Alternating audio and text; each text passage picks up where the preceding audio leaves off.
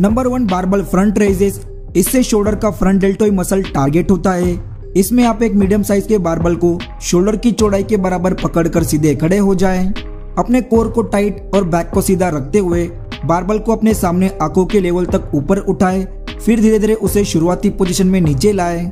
पूरे मोमेंटम के दौरान स्पीड पर कंट्रोल और अपने हाथों की कोनी को हल्का सा बैंड करके रखे। सही फॉर्म के साथ इसके 10 से 12 रिपीटेशन के तीन सेट करें।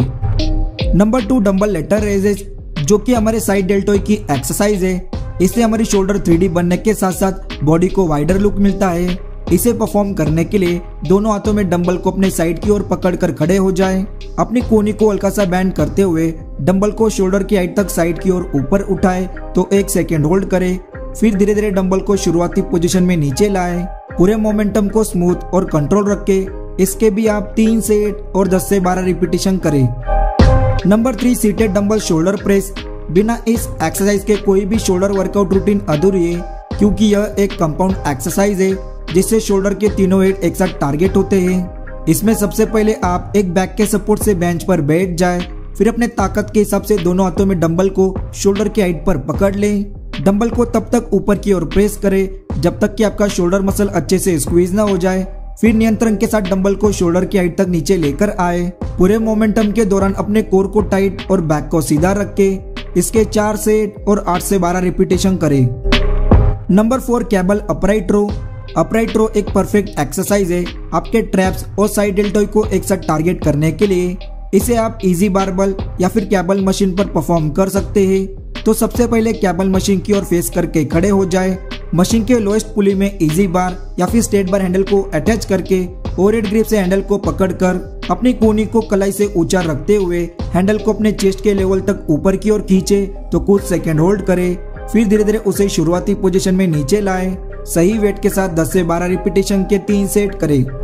Number five seated cable row face pull rear deltoid और अपर ट्रैप्स के लिए एक बेहतरीन एक्सरसाइज है, जिसे काफ़ी लोग मिस कर देते हैं। इसे आप कैबल मशीन के सामने खड़े होकर या फिर बैठकर परफॉर्म कर सकते हैं। तो सबसे पहले चेस्ट के लेवल पर कैबल मशीन में रोप कैबल को अटैच करके मशीन के सामने बैठ जाएँ। अपने हाथों को सीधा रखते हुए रोप कैबल को अपने फेस की ओर खींचे, अपनी कोनी को ऊपर रख के रियल डेल्टोई मसल को स्क्वीज करे, फिर धीरे धीरे कैबल को शुरुआती पोजीशन में आगे लेकर आए। वीडियो में दिखाए मुताबिक फॉर्म को मेंटेन रखते हुए इसके 10 से 12 रिपीटेशन के तीन सेट करें। नंबर सिक्स डंबल श्रक्स बड़ी और मज़बूत ट्रैप्स बनाने के लिए श्रक्स की एक्सरसाइज को अपनी रूटीन में ज़रूर ऐड करें। इसे आप डंबल या फिर बारबल से परफॉर्म कर सकते हैं। तो दोनों हाथों में अपने ताकत के हिसाब से डंबल को लेकर सीधे खड़े हो जाए। फिर अपने शोल्डर को सीधा जितना हो सके उतना कानों की ओर ऊपर उठाए। तो एक से दो सेकेंड होल्ड करे। ट्रैप्स मसल को स्क्वीज करे। फिर धीरे धीरे अपने शोल्डर को शुरुआती पोजीशन में नीचे लाए। मेक श्योर कि आप अपने मोमेंटम पर कंट्रोल रखें। बिना बॉडी को झटका मारे 10 से 12 रिपीटेशन के तीन सेट करें। Number seven machine reverse fly जो कि इस वर्कआउट रूटीन की फिनिशिंग एक्सरसाइज है, जिससे हम फिर से रियल डेल्टोई मसल को टारगेट करेंगे। इससे आपकी शोल्डर को एक परफेक्ट थ्री लुक मिलता है। इसमें मशीन को अपने हाइट के अकॉर्डिंग एडजस्ट करके चेस्ट के सपोर्ट से मशीन पर बैठ जाए और दोनों हाथों से हैंडल को पकड़ ले। अपनी कोनी को बैंड करते हुए हैंडल को साइड की ओर रिवर्स फ्लाई की पोजीशन में खींचे। तो एक से दो सेकेंड होल्ड करें रियर डेल्टोई मसल को स्क्वीज करें, फिर हैंडल को शुरुआती पोजीशन में लेकर आए और इसे रिपीट करें। लाइट वेट का यूज़ करते हुए इसके तीन सेट और 10 से 12 रिपीटेशन करें।